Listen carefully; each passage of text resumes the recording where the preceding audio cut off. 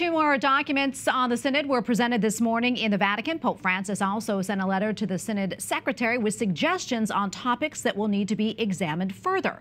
EWTN Vatican Bureau Chief Andreas Thonhauser has more. Good evening, Tracy.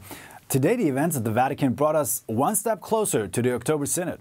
Cardinal Mario Grech received a letter from Pope Francis regarding the Synod on Synodality. It outlined 10 discussion points to the Secretary General, and among them were the relationship between the Eastern Catholic churches and the Roman Latin Church, the mission of the Church in the digital environment, and how the Church can best listen to the cry of the poor. Now, smaller study groups will examine these discussion points ahead of the 2024 session and will be working on it even after the conclusion of the Synod.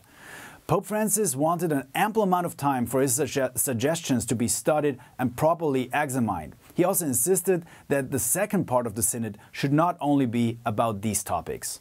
Other points touch on the relationship between bishops, consecrated life, and ecclesial associations, as well as the priestly formation. There will be some controversial topics for the study groups as well. Among the most notable was what one of the documents today presented calls the possible access of women to the diaconate. At today's press conference at the Holy See Press Office, Cardinals Mario Grech and Jean-Claude Hollerich presented the findings of the first synodal session from last year and a preparatory document for next October titled How to be a Synodal Church in Mission.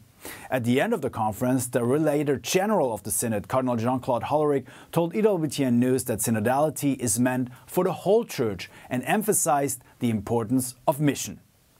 We do not want to polarize. We want to bring people together.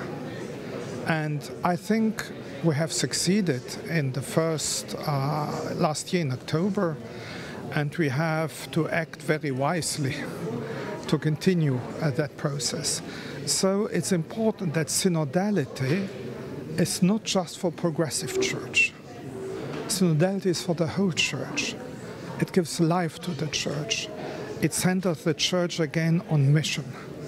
And we all know that we need to proclaim Christ to the world. In the coming month, we will continue reporting about new developments leading up to October when bishops from all around the world will gather again here at the Vatican. In Rome, Andreas Thonhauser, EWTN News Nightly.